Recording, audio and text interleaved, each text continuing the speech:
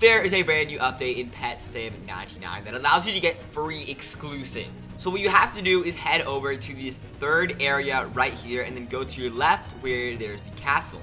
Now, if you go all the way down, you'll see the trading plaza. And if we go to the normal one, but the pro one works too, but I'm gonna head over to normal. Then right smack in the middle is a Happy New Year ball. And as you can see, you get an exclusive egg when it drops. Now there are very certain times when it drops though, so let me go run down those. It drops at 12 p.m., 4 p.m., 8 p.m., and 11 p.m.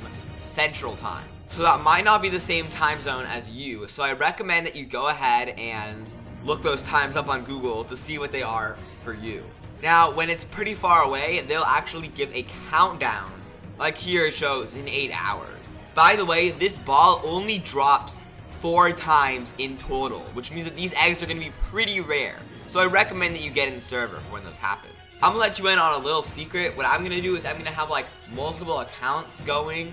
I'm going to have like my sister's account, my account, maybe even like an alt running, just to try to get as many eggs as possible.